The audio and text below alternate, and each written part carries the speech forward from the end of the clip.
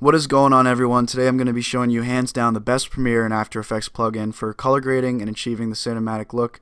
Uh, this is a film stock emulator called Film Convert Pro. You can get it for around $90 but at the end of this video I'm going to be giving away two free copies of this so watch until the very end for de details because the winner will be announced on Saturday February 25th. Also I don't have a lot of subs so your chances of winning this are very high so make sure you give the video a thumbs up if you want more giveaways like this. Okay.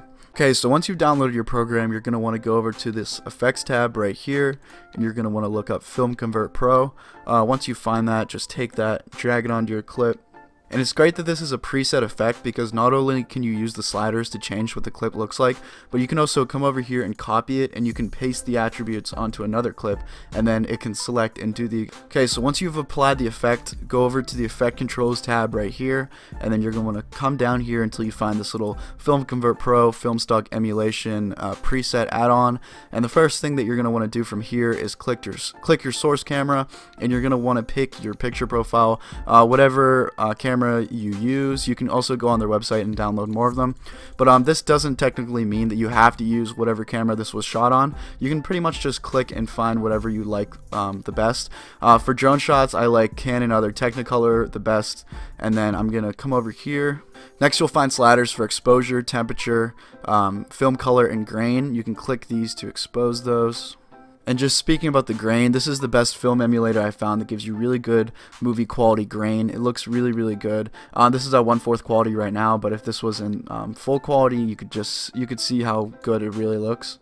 And finally, you have your drop-down menus for the film emulator you want to convert to, and then the size of the um, film that you use. You have your Super 8, your 16 millimeter, and then 35 millimeter full frame. That's what I use for most of mine.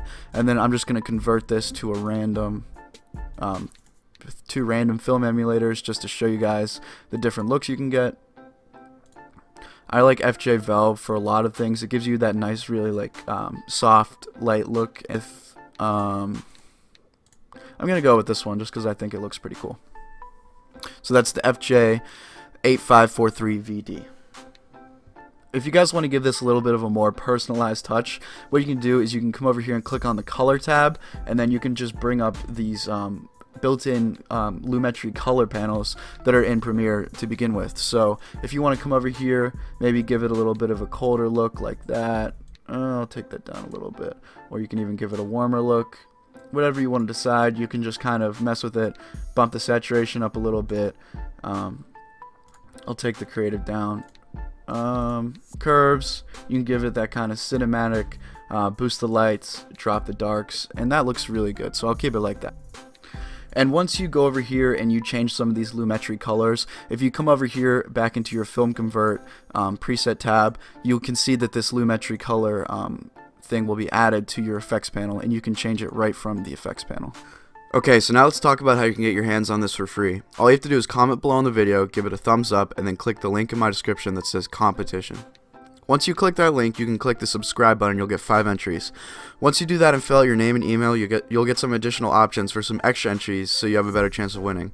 The program works for Premiere and After Effects, so just make sure you follow the download instructions included in the download fo folder. And if you win, I'll email you a link to where you can download it. So keep an eye on your email when the competition ends on February 25th. I hope you guys enjoyed the video. Give it a thumbs up if you want more giveaways like this in the future or more tutorial videos in the future. I'm going to be bringing more vlogs also, so stay tuned for that, and I'll see you guys later.